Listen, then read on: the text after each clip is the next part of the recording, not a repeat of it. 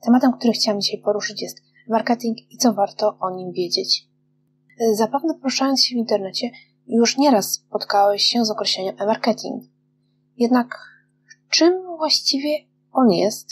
Jakiego typu czynności dotyczy? Na te pytania spróbuję dzisiaj odpowiedzieć. Zatem, co rozumiemy pod określeniem e-marketing? Zanim przejdę do omówienia, czym dokładnie jest e-marketing, dobrze jest omówić, czym jest sam marketing.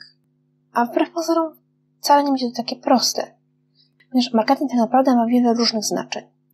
Potrzeby jednak tego podcastu postaram się uprościć to określenie. Zatem w naszym przypadku marketing będziemy rozpatrywać jako zjawisko społeczne, które koncentruje się na oferowaniu wartościowych towarów lub usług.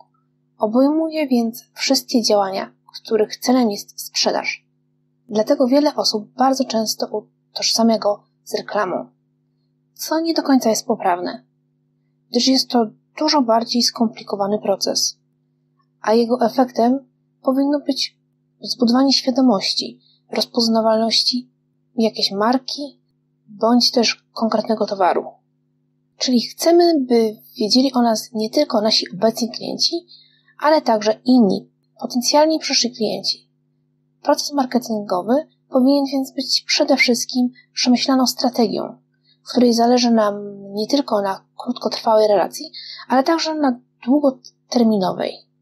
Tak więc, można więc uznać, że reklama jest jednym z elementów marketingu, a nie, że marketing jest reklamą.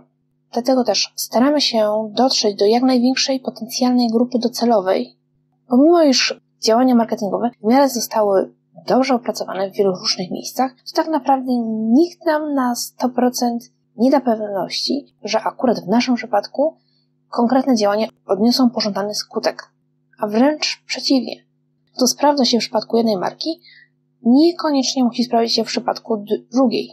Sprawdzone działania mogą nam jednak podpowiedzieć, w jakim kierunku powinniśmy działać. Zatem, skoro już mniej więcej wiemy, czym jest marketing, przejdźmy do samego e-marketingu.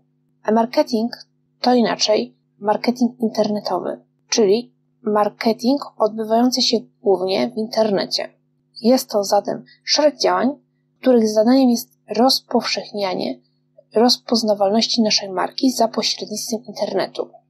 Czyli jest to tak naprawdę wycinek działań marketingowych, jakie powinny być prowadzone dla uzyskania poprawnej rozpoznawalności naszej marki, bądź też tylko danego produktu, w zależności od naszych potrzeb. Forma ta nie obejmuje wszystkich działań, jakie powinny być prowadzone dla marki. Przy czym nie chodzi tu tylko o markę firmy, lecz również na przykład markę osobistą. Czyli działania te mogą być przydatne w przypadku niektórych osób dla pozyskania na przykład nowej pracy.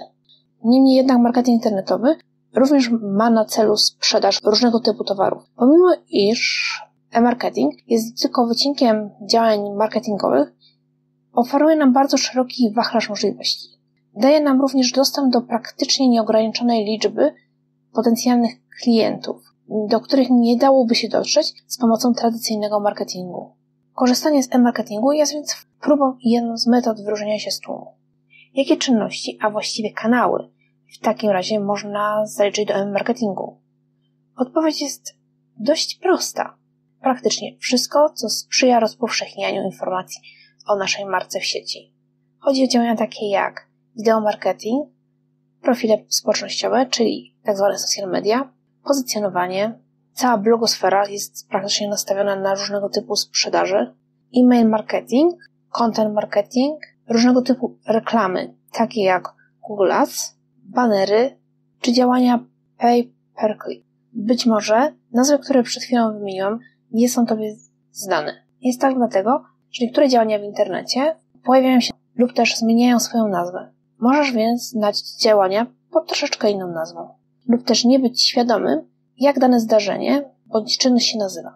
Jaka jest zatem różnica między tradycyjnym marketingiem a marketingiem internetowym? Wymienimy takie podstawowe różnice. Zatem cechy, jakie nas będą interesowały, to kontakt z klientem, wiedza o kliencie, komunikaty, mierzalność efektów, zasięg, koszty oraz elastyczność.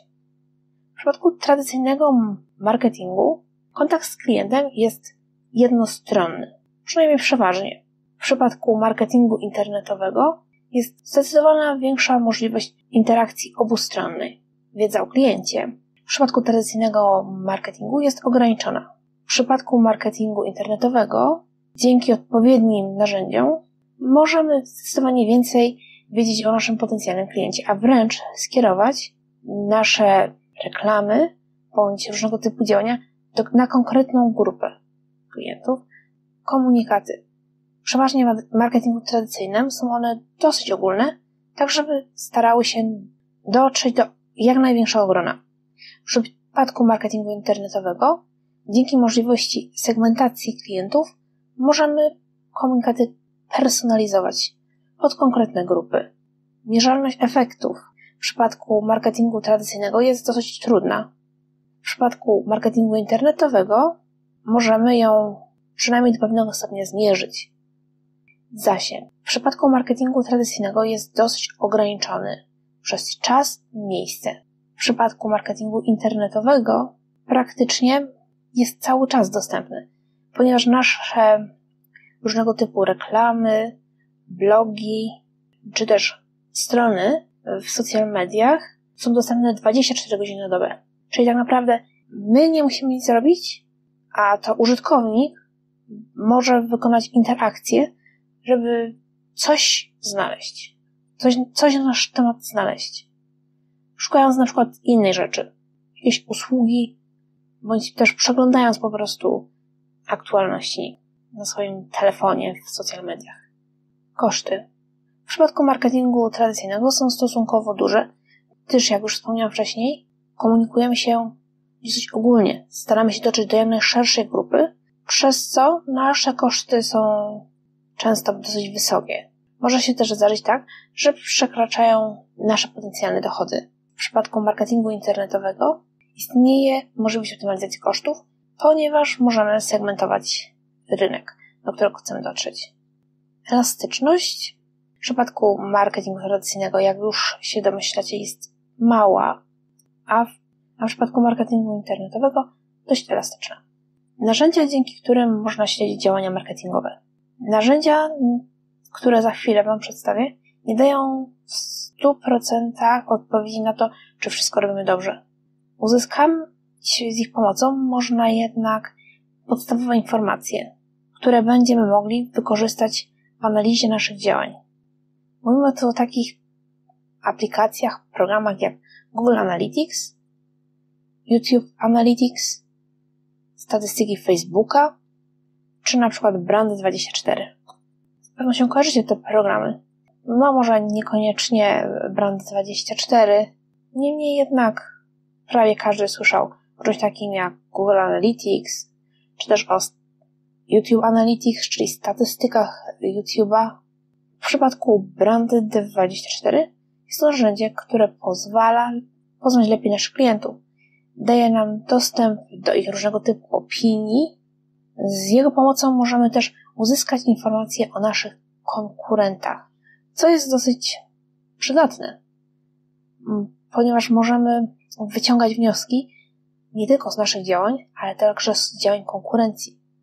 Być może też na podstawie tych danych spróbować coś zmienić w naszej firmie, bardziej ją rozwinąć. To oczywiście nie wszystkie narzędzia, a jedynie te popularniejsze.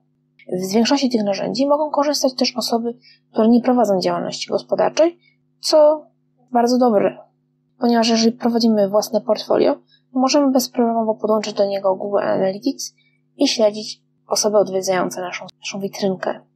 Dzięki czemu będziemy uzyskiwali informacje na temat tego, na jakich podstawach duże się zatrzymują, co ich bardziej interesuje. Oraz wiele różnych innych informacji, o których w tym momencie byśmy nawet nie pomyśleli. O tym, co znajdzie Google Analytics, być może opowiem następnym razem. A teraz, jeżeli macie jakieś jeszcze pytania, czym jest e-marketing, czyli marketing internetowy, zostawcie to w komentarzach. Pozdrawiam.